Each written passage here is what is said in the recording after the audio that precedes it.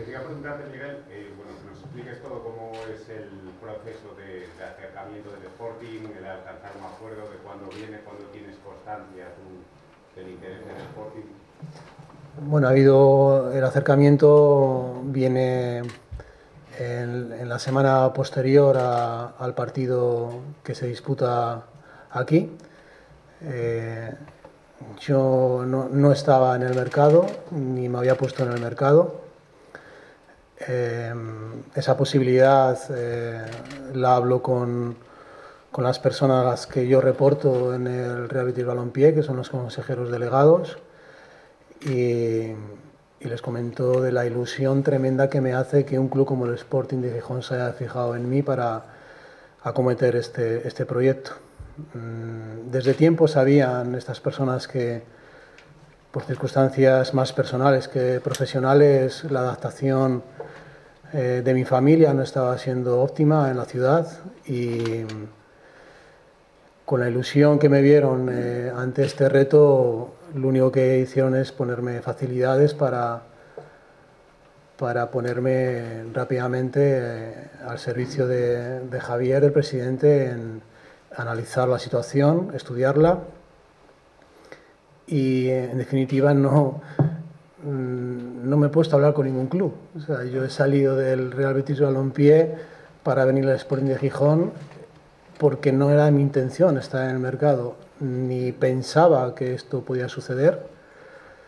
Eh, visité la sala del consejo del estadio porque estaban con con mi directiva en aquel momento comiendo, saludé a todos, saludé al brujo como siempre he hecho desde que vine aquí con el Salamanca y, y esto para mí es un sueño, es un sueño porque eh, vengo a un proyecto en el que creo mucho y vengo a, a, a una esencia de fútbol que es poder trabajar no solo en, el, en un club sino también en una filosofía, en una eh, ciudad deportiva, en una escuela que es que es la, de la más prestigiosa que hay en España.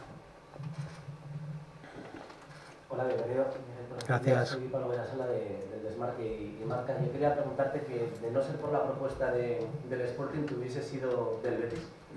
No, no. Mis intenciones era estar trabajando en el Real Betis, eh, estar eh, desarrollando el proyecto por el que me contrataron pero la, la situación de, mm, que se da y, y, digamos también las circunstancias personales me hicieron eh, desviar eh, digamos mis prioridades hacia hacia este club y también buscando pues ese bienestar familiar que, que no estaba encontrando en, en, esa ciudad. Sí que tenía decidido mi familia desplazarse a Salamanca y cambiar su residencia, pero no, no estaba previsto que yo abandonara el club, eh, cerré el, traspaso de Pizzini a Sporting de Lisboa, cerré la contratación de Sergio León, la renovación de Pesela, la llegada de Quique Setién.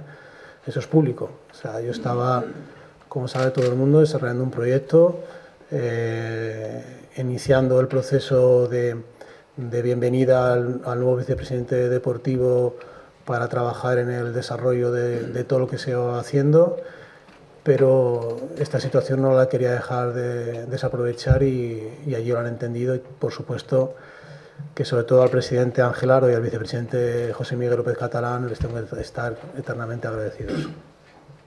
Hablaba el presidente hace un momento, han dicho que era la nostalgia, hablaba el presidente hace un momento del conocimiento de, de la plantilla del Sporting, que usted traía ya las primeras conversaciones, me gustaría que nos hiciera un poco una radiografía de la idea que tiene usted de lo que se va a encontrar aquí, cómo está el Sporting y por qué tiene que ir en cuatro pinceladas al proyecto nuevo que empezaba. Bueno, yo creo que el proyecto nuevo se resume en dos palabras, ilusión e, y unión. Todo lo demás es el trabajo de una planificación deportiva de buscar dentro de la plantilla actual eh, mantener los recursos apropiados y eh, dirigir el, director de orquesta y, una de las decisiones más importantes que tiene un proyecto, eh, que es la figura del entrenador. A partir de ahí sabemos a lo que tiene que jugar el Sporting en esta categoría, sabemos qué va a pasar cada vez que el Sporting de Gijón visite cualquier estadio de fútbol español y sabemos cómo van a, esperar a Mareona en cualquier lugar. Entonces la responsabilidad es enorme y vamos a ser recibidos como el club a batir en cualquier estadio del fútbol español. Con lo cual, eh, desde mi parcela como máximo responsable de la deportiva, a todo lo que esté bajo mi responsabilidad, eh, tenemos que asumir ese, digamos, esa, eh, esa, alta presión que supone ahora mismo trabajar en el Sporting de Gijón para devolverlo a, a donde acaba de dejar, que es la primera división. Hola. Eh, quería preguntarle por la situación de Rubi, cuál es su idea con el entrenador, el entrenador del Sporting, si tiene una amplia cartera de entrenadores y si sabe de cuánto dinero dispone para fichar este Bueno, en cuanto a, a Rubi, no, nos conocemos personalmente eh, y es una persona que, por supuesto, ha dejado de ser el entrenador y solo por ese dato ya tengo previsto sentarme con él y, y charlar de fútbol. Eh, a partir de ahí hay que tomar decisiones. Eh, él es un entrenador que, que, al día de hoy está, en, entre comillas, en, el mercado y en el mercado estará para cualquier club de España y, también para el Sporting si decide que se decide volver a que sea el entrenador. Pero esas cosas hay que decidirlas después de, estudiar muchas cosas, de estudiar el mercado y también de, de estudiar eh, su disponibilidad y, y de conocer eh, cara a cara con él sus, sentimientos de lo último que ha vivido, que, que, no es sencillo, un descenso. En cuanto al presupuesto, pues claro que lo conozco dentro de las conversaciones que, que hemos mantenido y, tanto con Ramón como con el presidente, con Javier, eh, se me ha puesto encima de la mesa eh, un poquito las, las, directrices económicas y, y, tenemos ya marcada la idea. ¿no? También los presupuestos varían dependiendo de circunstancias, eh, tanto de entradas, perdón, de salidas de jugadores, eh, bien sea porque abandona la entidad y, y su salario ya no tienes que tener responsabilidad de pagarlos, o porque haya operaciones eh, beneficiosas que el club considere buenas para, para, también aumentar ese presupuesto. Entonces, todo lo que empieza ahora siendo un presupuesto, eh, igual dentro de un mes o dos meses eh, puede variar. Ay, perdón. Hola, Carlos. Bienvenido, Miguel. Gracias. Eh, en el Celta llegaste en segunda división, en un proyecto que era muy complicado, con problemas económicos, y el equipo acaba jugando competición europea. ¿Hasta qué punto esa experiencia vale para llegar ahora al Sporting también en segunda división? A ver, eh, los dos clubes tienen similitudes. Eh, para, mí, la principal es eh, la creencia sin demagogia de lo que es un producto de cantera y de una marca potente. ¿no? Tanto Mareo como La Madroa son factorías de talento. entonces, en ese aspecto se asemeja mucho. Al final, son situaciones diferentes. En, en, allí el, inicio mío de, en Vigo es eh, mi contrato cerrado con la administración concursal, eh, en, una crisis eh, muy profunda, en, en, un club que, que, como el Sporting bajaba de primera, pero, pero bajaba de haber jugado competición europea. Y lo que se decide es hacer un proceso, digamos, totalmente diferente a lo que se llevaba haciendo y, y incorporar el máximo talento posible al primer equipo. El primer año se incorporan 12 jugadores del Celta B a la primera plantilla. Aquí estamos hablando de, una plantilla que en su mayoría debe ser óptima para, el objetivo que, que, todos vamos a afrontar. Y, y ahí ya eh, empieza ya la, la, primera diferencia, ¿no? eh, donde de partes de inicio con, con, con uno, siendo uno de los candidatos que todo el mundo te va a definir para, para ascender. Y en aquel eh, proyecto que inicié en Vigo partías de, de un proceso con Usibo Sacristán de regeneración, de búsqueda de talento interno para, para que vayan creciendo. ¿no? Entonces, eh, hay una hoja de ruta similar, pero, pero hay situaciones dis- distintas. Hola. Gracias. La primera, si para usted es un, el ascenso es una obligación inmediata y si así se lo han transmitido cuando hablan con usted eh, o se lo marca más adelante. Y segundo, antes ha dicho que el presupuesto puede variar en función de operaciones. ¿Se refiere a posibilidad de algún traspaso de un jugador que esté en la plantilla? Bueno, lo de ascenso inmediato mm, no es que sea una presión, es un deseo. O sea, cuando algo es un deseo no tienes que convertirlo en una presión. Eh, partiría de una presión en que realmente fuera, digamos, eh, la existencia de un club dependiera de ello. Eh, entonces ya sería una presión importante a la hora de, de afrontar unas decisiones, ¿no? No vienes para, eh, o, no vengo para este proyecto para realmente no asumir que, que, que el sportinguista que me esté escuchando lo que quiere es que, que- que su club vuelva a, a donde ellos quieren estar, que es en la primera división y codearse con la élite del fútbol. Eh, el proceso no va a ser sencillo. Eh, La segunda división es muy larga, actualmente se sigue compitiendo, hay un playoff que suele ser extremadamente cruel para el que no consigue eh, ascender vía playoff y tenemos que estar preparados para eh, esos momentos, tanto los que sea de euforia para eh, mantener la calma y en esos momentos que los habrá también, que puedas tener alguna racha de partidos, pues que esa unión a la que yo creo que, que tenemos que ir todos nos haga ser muy fuertes y- y llevar ese, ese momento, ese momento de manera natural. ¿no? Y la otra que me dijiste es...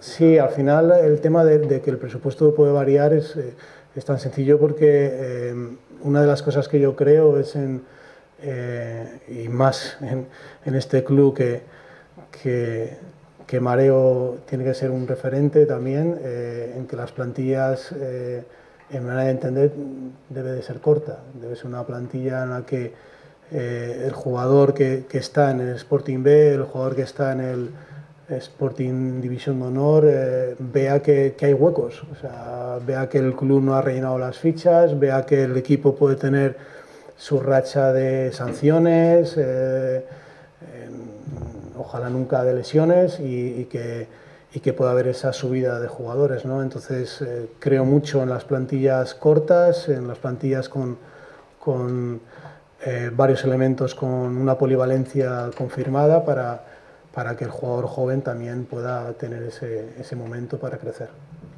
Buenos días, Juan Aguja de Hola.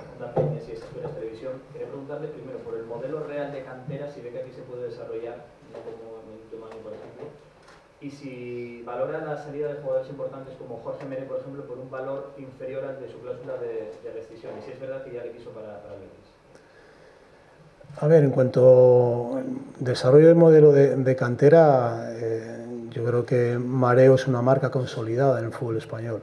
Eh, independientemente de que eh, tú me hayas hecho esa, información, fuera de lo que sea el entorno de aquí, te garantizo que, que Mareo es algo muy respetado en el fútbol. Eh, al final las generaciones te pueden dar eh, un grupo importante de, jugadores que te puedan hacer eh, tener un- una subida en masa de futbolistas o, por otro lado, tener alguna generación que, que pueda hacer que eso sea diferente. Lo importante, es la esencia, la esencia y que, y que realmente hay una- una- un convencimiento de todo el mundo, no solo de, un consejo de administración que la tiene, un director deportivo que la tiene, sino también de, de lo que supone el entorno de- del club, bien de aficionados, de prensa, a la hora de que esos jugadores vayan subiendo y, se les vaya arropando. ¿no? Entonces, creo tremendamente en, ese proceso y, y- también el responsable máximo de la plantilla a nivel técnico, el entrenador, eh, tiene que tener también ese ADN, ¿no? de- de ser también un, un- formador y una persona también que se involucre en, la- en- el desarrollo de los, de los jóvenes. Bueno, Jorge Mera es un, es un jugador que, que, en el Real Betis Balompié está, está dentro de- del trabajo que ha hecho la Secretaría Técnica como una lista innumerable de, centrales jóvenes con, una gran proyección. Eh, el objetivo es que el jugador continúe en, eh, el, equipo y, ayude a, su club, que no creo que sea otro que el Sporting, a, volver a la categoría que también a él le ha hecho desarrollar ese talento que tiene. Buenos días, bienvenido. Gracias. Rubén Díaz de Golaveraje. Eh, lo primero le quería preguntar en relación con el número de integrantes que debe tener la plantilla para la próxima temporada. Ha, dicho que es amante de las plantillas cortas en cuanto a número de fichas profesionales. Era una con 22. Eh, creo que ya podría concretarnos el número de fichas profesionales que desea tener para la próxima temporada y cuánto hace el filial, lógicamente. Mm, a ver, lo que está claro que, que mm, el objetivo es que del filial puedas eh, recurrir en, en masa, o sea que puedas tener el mayor porcentaje de jugadores para subir y bajar. El que la plantilla sea de 20 o sea de 22 te lo va a marcar el talento que, que esté empujando, que esté queriendo llamar a la puerta. Para eso, eh, pues con Manolo ya esta tarde tendré eh, reunión de trabajo y tendremos que marcar bien quiénes son los jugadores que pueden estar más próximos a, a esa situación. ¿no? Eh, a partir de ahí la plantilla serán en esos números, 20, 21, 22 y, trabajar con, sobre todo mirando bien las posibilidades que hay debajo. Eh, creo entender, vamos, eh, usted ha seguido la plantilla del Sporting aquí en Mareo en directo bastante a menudo en las últimas tres temporadas, sin contar la actual, lógicamente, que estaba en Sevilla, es decir, que tiene que tener un conocimiento Veo que me espiabas. amplio, no, no, no, ah. nada. lo que le quería preguntar de la actual plantilla, sí. ¿Qué características de juego echan más en falta que debe tener el equipo de la próxima temporada, que no tienen los actuales integrantes de la plantilla? yo creo que la plantilla al día de hoy es una plantilla competitiva para, asumir el, reto del ascenso. Eh, independientemente de las características que tiene, todas las plantillas tienen sus, sus carencias, pero la carencia que pueda tener a la plantilla eh, no tiene que ser, digamos, una carencia que no le haga ser competitivo. ¿Eh? Entonces, eh, creo que eh, el entrenador que dirija esa plantilla tiene que saber adaptarse a, la plantilla y al grueso que ya hay, porque va a ser la base de, la plantilla próxima, con lo cual, sentado con el entrenador, estudiaremos esas carencias que, entre los dos veamos que pueda tener para, para poder ir al mercado o ir al filial a, solventarlas. Hola. Gracias.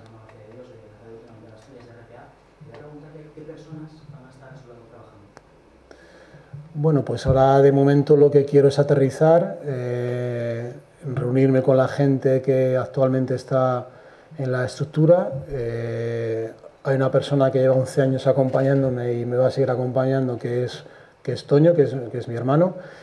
Y, a partir de ahí eh, quiero analizar eh, cómo está la estructura y después ya tomaré decisiones. Ahora no puedo eh, ni me atrevería a, poder enumerarte ni el número ni los nombres porque quiero primero evaluar lo que actualmente está trabajando en el club. hola, Hola. de la En los últimos días vienen sonando con fuerza la posibilidad de dos entrenadores como son Paco Herrera o Alejandro Tú mismo has coincidido con ellos en tu etapa amigo. Eh, ¿Qué valoración haces de ellos y si tienen realmente posibilidades de ser los próximos entrenadores? la primera, la de Paco, pues un entrenador que ha estado tres años conmigo, eh, está claro que la elaboración es muy alta, pero eh, yo creo que ahora mismo estamos hablando de un entrenador que está compitiendo, está en un club como el Valladolid que, que se está jugando el vuelo de la máxima categoría. Y bueno, Carlos Suárez me conoce personalmente, el presidente, sabe de la estima que yo tengo a Paco. Hace poco estuve viendo un partido allí, me permitieron pasar a vestuarios a, saludarles. Todo el cuerpo técnico ha trabajado conmigo, con lo cual, eh, por encima de todo, es una persona que, que me une mucho, pero que no voy a hacer valoraciones porque respeto al club con el que está trabajando muchísimo. Y Alejandro sí que ha, anunciado que no, continúa en el, filial eh, del Celta. ha hecho la temporada más importante en la historia del, club en cuanto al filial y, es un entrenador, pues bueno, como, como hemos podido hablar de, de Rubi, que, está en el mercado para, para el Sporting y para cualquier otro club. Tienes que definir la lista de, de candidatos y, y, son personas que, que, están ahora mismo en disponibilidad para cualquier proyecto.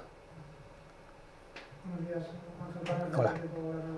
Bienvenido. Gracias.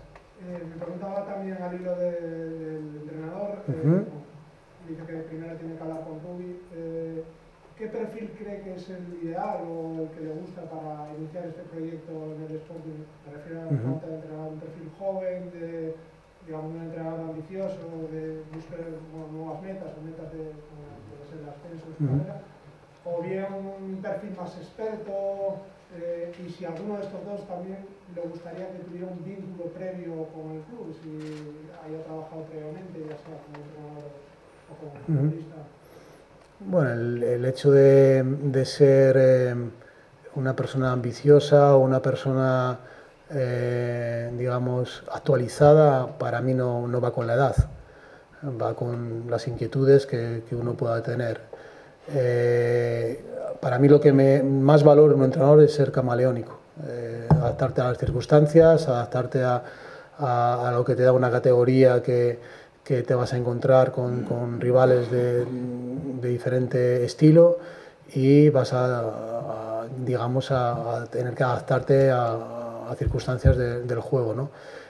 Que conozca la categoría entiendo que es, es fundamental, eh, es una categoría eh, difícil en que hay, eh, digamos, muy poca distancia ¿no? entre, entre equipos que están arañando puestos de, de playoff, eh, con los puestos de descenso, los que están en puesto de playoff con los puestos de ascenso directo, con lo cual los detalles se tienen que, estar controlados, donde el balón parado, la estrategia, eh, también tiene que ser una faceta importantísima de, un entrenador, no solo en esta categoría, yo creo que sabemos que en, todas.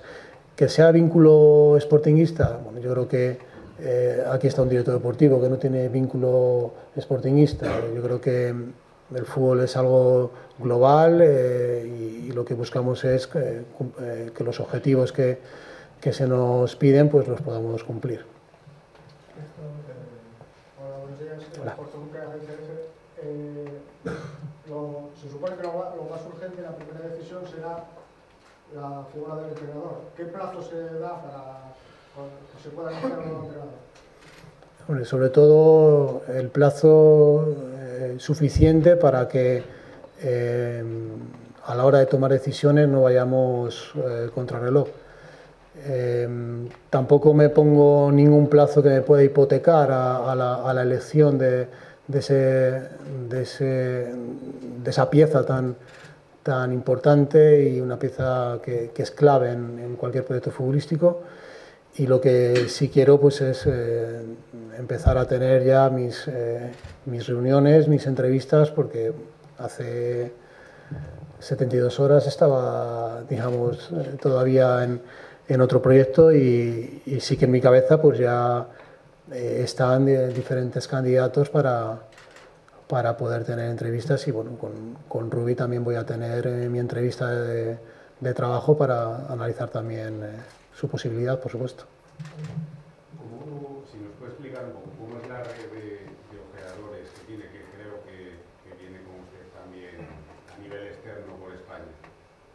Mm, no, yo lo que tengo es un, un, presupuesto o he tenido un presupuesto y arreglo a ese presupuesto me, adapto. Eh, el club me tendrá que pasar, quiero conocer, perdón, el, presupuesto que se ha destinado a a esa área y, y ahí lo, lo adaptaré.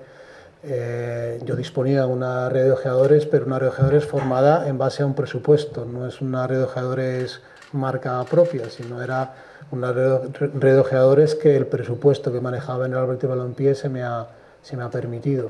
Eh, diferente era el que disponía en el Real Cruz Celta de diferente del Salamanca, diferente del, del Cartagena, por decirte los equipos, eh, digamos, más cercanos al FP que, que tenían. Novelda la red era yo.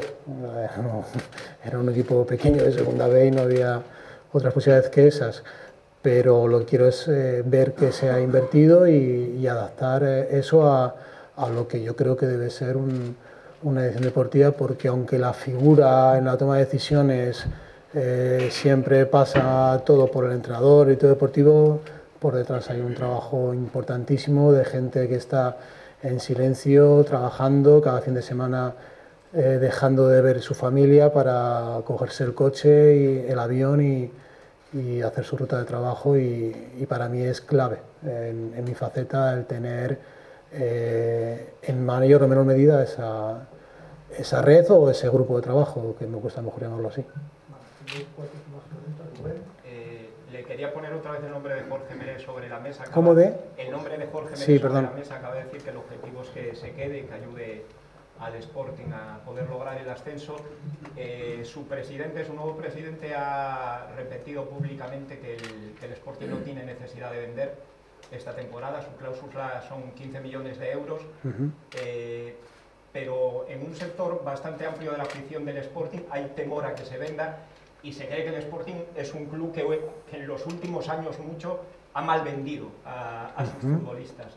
Eh, yo le quiero poner un ejemplo que es el de cuando el Villarreal desciende, un internacional absoluto y capitán como Bruno, jugó en segunda división y ayudó al Villarreal a, subir a primera. Correcto. solo es internacional sub-21. ¿Cree que el Sporting debe lanzar un mensaje de ese tipo al fútbol profesional y al mismo tiempo a su afición para tener la tranquilidad de que estandartes eh, se revalorizan desde, desde dentro? O, y le voy a poner un ejemplo de, de, una gestión suya, creo recordar en el CENTE, igual me equivoco, usted me corrige. Eh, creo que usted traspasó a Santimina al Valencia por 10 millones de euros con 19 años, una edad muy similar a la de Meré. ¿Este sería una buena cifra para traspasar a Meré y merecería la pena o no? Bueno, eh, lo, lo, primero que tengo que confirmarte es lo de antes, ¿no? Yo creo que eh, para el Sporting eh, tiene que ser un objetivo conseguir que, Mere continúe en la plantilla. Está claro que estamos hablando de un jugador que con una edad muy temprana ha sido un jugador muy habitual y un jugador que ha tenido muchos minutos en el, en el Sporting y en un Sporting con presión a nivel clasificatorio. el desarrollo del jugador está claro que te lo va a dar si está compitiendo de una manera habitual.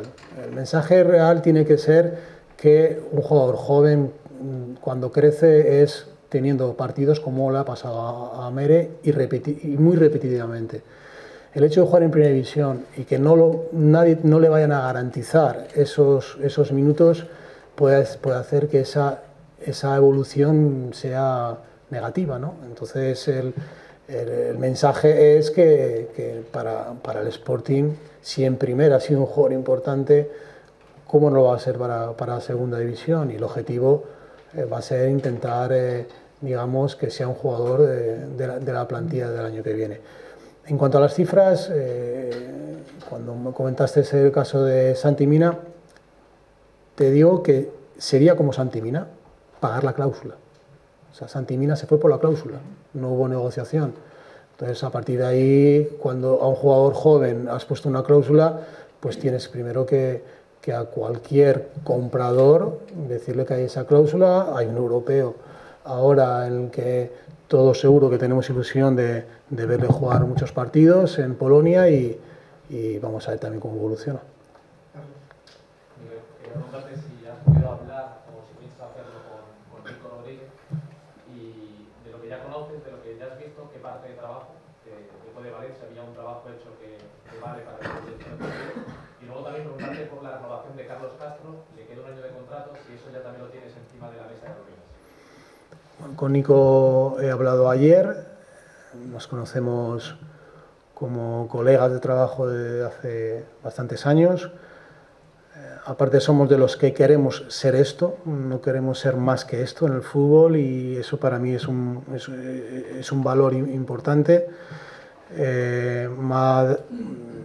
dado toda la disponibilidad a todo lo que necesite. Eh, todavía no puedo valorar el trabajo que se ha hecho porque he llegado ayer y no, todavía no he, no he puesto mis pies en, en, la ciudad deportiva de Mareo y ya esta tarde pues empezaré a analizar eh, con las personas que han estado trabajando con él in situ en el club y analizando también ciertas personas o ciertos ojeadores que han estado externamente trabajando, pues analizar su trabajo. Tendría que esperar un tiempo para analizar y realmente valorarlo. Bueno, Carlos Castro es un jugador que, como cualquier jugador que le quede un año de contrato y se tengan expectativas importantes deportivas, como eh, para mí es en este caso, pues hay que, estamos obligados a, a sentarnos. Sé que ha habido ya conversaciones. Eh, eh, su agencia, su agente me conoce también de, hace muchos años y, la idea pues es eh, buscar también ese acuerdo y que sea un jugador importante y, que pueda ser un jugador que, que, para el sportingismo pues sea también un referente. Bienvenido, para la televisión del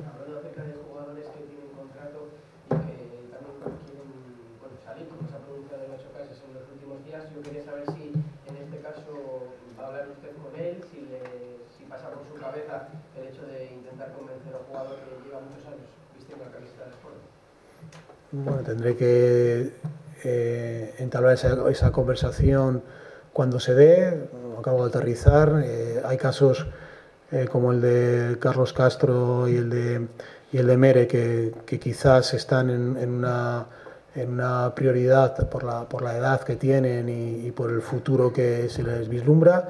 Y en el caso de Nacho, pues es un jugador, un referente en el vestuario y su experiencia es una experiencia importante para, para, el equipo. No puedes tener una plantilla eh, nada más que jugadores jóvenes o jugadores que suban de, del, Sporting, del Sporting B. Tienes que tener tus porcentajes de plantilla. ¿no? Y en un porcentaje de plantilla importante son los jugadores asentados, con liderazgo, con experiencia, como, como es Nacho. Que tenga intenciones de marchar, pues veremos. Sus agentes se tendrán que dirigir a mí y, y explicármelo. Por lo que he entendido, el club, bueno, está claro, quiere que, Jorge Mere continúe. También, si llegan ofertas, eh, vas a remitirte a la cláusula de rescisión, pero para despejar dudas, en el contrato de Jorge Mere, ¿hay algún tipo de cláusula por, la que el club deba acceder a su cesión o a su traspaso si el equipo que le quiere es de superior categoría? A ver, eh, tenemos una cláusula que si lo pone.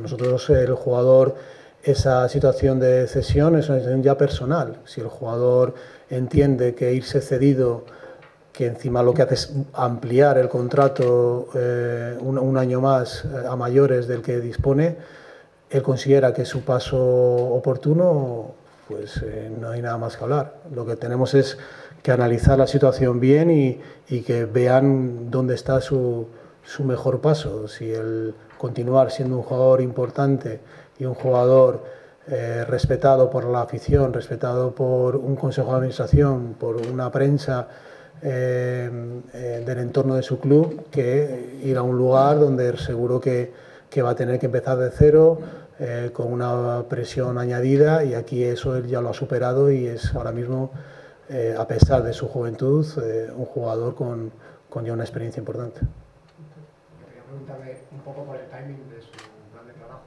Evidentemente la elección del entrenador es una decisión estructural y muy importante, pero ¿puede haber paralelamente ya movimientos en la plantilla o esperará a tomar ese tipo de decisiones a tener un entrenador y ver Lo primero va a ser tener el entrenador y, y sí consensuar las cosas, sabiendo que, que pues el club también tiene un, habrá tenido un trabajo hecho, eh, yo vengo de un trabajo también eh, hecho de, pues, una trayectoria de 16 años ininterrumpidos y, y, todo lo vamos a poner al servicio del club y, y, el entrenador que se elija pues también vendrá con ese bagaje y, y al final buscar eh, digamos dónde tenemos que acometer el mercado juntos y, y que nadie llegue con algo que, que, le ha causado sorpresa o que ha sido algo que, que él no hubiese hecho porque así es una manera, una manera incómoda de empezar un proyecto.